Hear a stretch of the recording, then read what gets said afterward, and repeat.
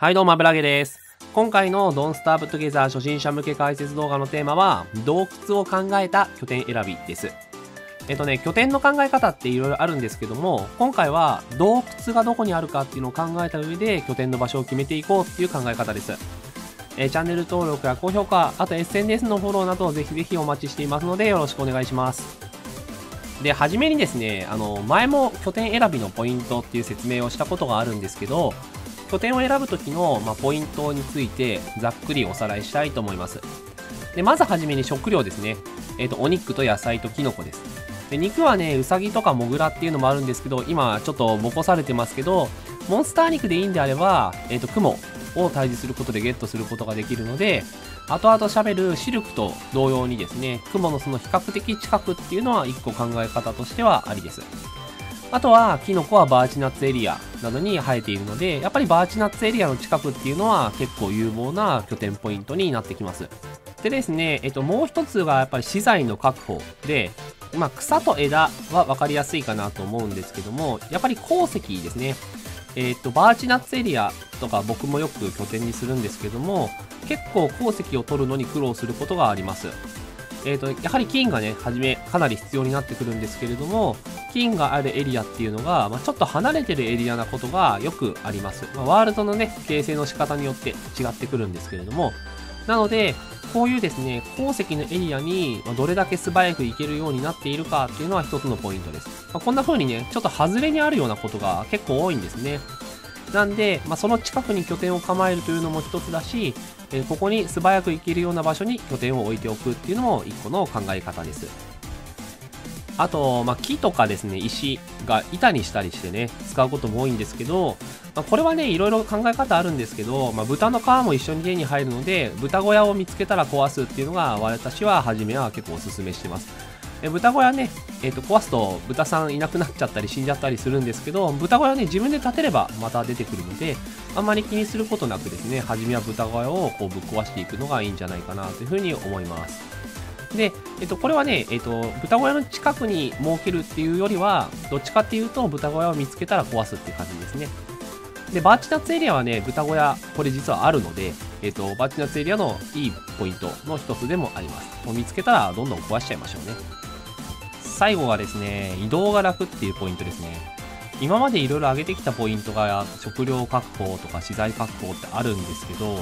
これらがですね、全部満たされる場所っていうのは、なかなか見つけられないし、下手したらないです。なので、まそういったエリアにね、すぐ行けるように、例えば今みたいにワームホールが近くにあるとか、まあ、今回のね、解説のポイントにもなってる、えー、洞窟の出入り口で移動すると実は離れた場所に移動できるっていうこういうのを利用したりすることで、えー、と解決することができます。でワームホールは産地減るんですけれども、えー、と一方で、えー、洞窟は産地が減らないので、まあ、そういったメリットっていうのはあるかなというふうに思います。この辺がポイントですね。でですね、えーと、なかなか始めたての人って洞窟ってなんか暗くて怖くて大変そうみたいなイメージがあるんですけど洞窟はですね、実は結構明るいです。はい。えっ、ー、とね、ライトフラワーがあったりするので、まあ、こんな感じ昼は少なくとも入り口付近は特に明るいですし、まあ、ちょっと暗いとこも松明で移動したりすると明るいとこに行けたりします。えっ、ー、と、キノコバイオームとかは一応明かりがあるような状態になっているので、まあ、そういったところもね、あるので、初めからね、真っ暗だってことはないので安心できます。で、2つ目に、実はこの入り口付近は結構素材があります。えー、草、枝、木、ここら辺っていうのは素材があります。まあ、こんな風にね、草もありますね。うさぎの村が見つかれば。あと、人参が生えてたりもします。で、ただですね、えっと、鉱石だけはどうしても入り口付近にはありません。えっと、ちょっと奥に行って、あの、敵とかがね、いるとこまで行くと鉱石採取できるんですけど、まあ、ちょっと序盤に行くのは少し怖いところがあるかなと思います。で、3つ目に、これのいいポイント、洞窟、初手洞窟探しのメリットとしては、えっと、入り口付近は雲とかの敵が基本的にはいないです。はい。まあ、今見ていただいたようなね、えっと、安心できるような広場になっていることが多いです。なので、えっと、例えば、こう、洞窟に降りてきたから、まあ、すぐ敵に襲われちゃうみたいなことはないですし、まあ、そこそこね、序盤に貯めたい資材も手に入るというところでいいことが多いです。で、またですね、これ、ハウンドが来ません。はい。これ結構でかいですね。ハウンドに襲われてる時に洞窟に逃げてもいいですし、あの、ハウンドの音がする時にいてもいいですし、ずっと地下で過ごしてもいいですけども、ともかくハウンドの襲来をスキップできるっていうのはかなり大きな序盤の不安ポイントを除けるところではありますね。で、4つ目なんですけども、そのキノコバイオームですね。今映像では青キノコバイオームになってますけども、入り口付近にね、あること全然あります。はい。ちょっと歩いていくとすぐにバイオームがあるっていうこと全然ありますんで、マップ見ながら歩いてもらえればいいかなと思います。そうするとですね、緑キノコとか青キノコが大量に楽に取れるっていうことがあります。なんで序盤のね、え産地が下がっちゃってやべえよっていう時の回復手段とか、HP 回復させたいよっていう回復手段とかが結構簡単に手に入ります。もちろんね、料理できるようになったらいろいろ料理した方がいいんですけれども、序盤の助けにはかなりなるんじゃないかなと思います。まあ、こういったね、初手洞窟探しっていうのはメリットが結構あるんですね。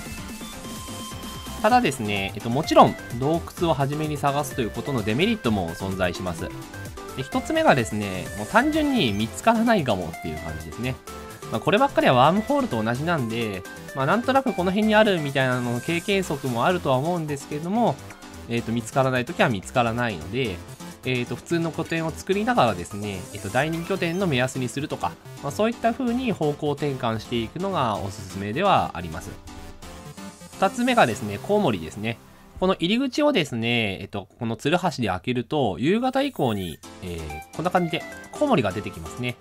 えっと、まあ、HP50 という風に弱いんですけども、結構な数出てきますんで、まあ、これはですね、拠点の、あまりに拠点の近くにですね、これを作ってしまうと少し大変です。で以前もね、紹介したようにですね、うさぎ小屋を建てておくと回避することができたりします。まあ、うさぎ小屋のパーツはね、あの洞窟でうさぎ小屋ぶっ壊して持ってくればいいので、結構早いうちから対策自体はできます。はい。ただまあ、あんまり近くには作んない方がいいかなっていう感じなのと、えっと、夜に地上に上がらないようにしましょう。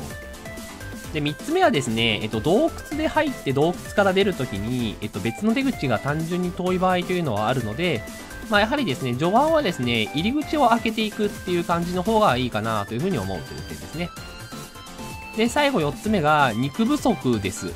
えっ、ー、と、地下いろいろ手に入るって話をしたんですけども、えー、どうしてもですね、肉だけはあんまり手に入らないかなっていうイメージですね。あの、雲の倒した時のモンスターミートぐらいかなっていうイメージです。で、またですね、これ、あの、肉があるとですね、ウサギが敵対してしまうので、これ今ね、肉持ってないんで仲良くしてくれてますけども、まあそういった意味で、地下で動きづらく、洞窟で動きづらくなりがちかなと思います。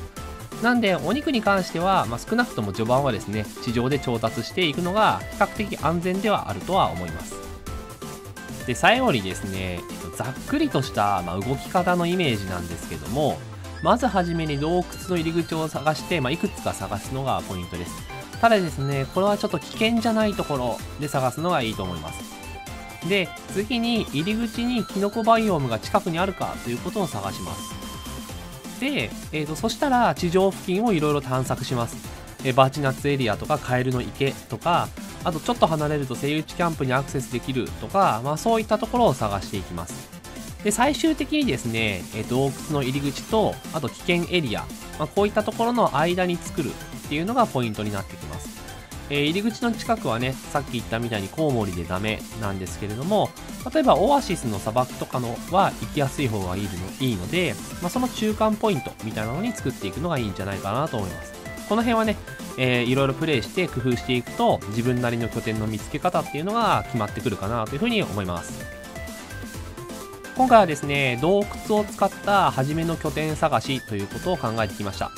えー、洞窟ね、結構怖いっていうイメージが僕も初めプレイした時はあったんですけども、まあ、実はですね、結構有用。特に入り口付近は安全かつ有用だってことが分かったと思います。